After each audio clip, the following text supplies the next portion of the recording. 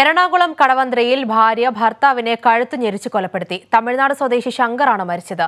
മദ്യപിച്ചെത്തുന്ന ഭർത്താവിന്റെ ശല്യം സഹിക്കാനാവാതെയാണ് കൊലപ്പെടുത്തിയതെന്ന് ഭാര്യയും മകളും മൊഴി നൽകി.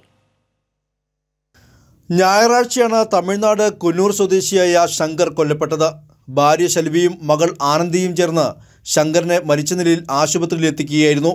ശങ്കർ കട്ടിലിൽ മരിച്ചു കിടക്കുകയായിരുന്നു എന്നായിരുന്നു ഇവർ ഡോക്ടറോട് പറഞ്ഞത്.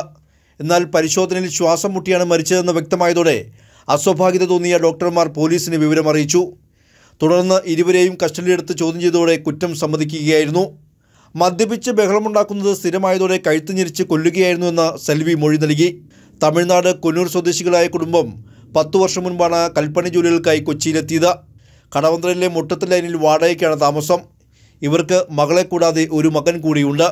വൈറ്റിലയിൽ ജോലി ചെയ്യുന്ന ഇയാൾ അവിടെ തന്നെയാണ് താമസിക്കുന്നതും. അറസ്റ്റ് രേഖപ്പെടുത്തിയ പ്രതികളെ കോടതിയിൽ ഹാജരാക്കി റിമാൻഡ് ചെയ്തു. കൈരളി ന്യൂസ് കൊച്ചി.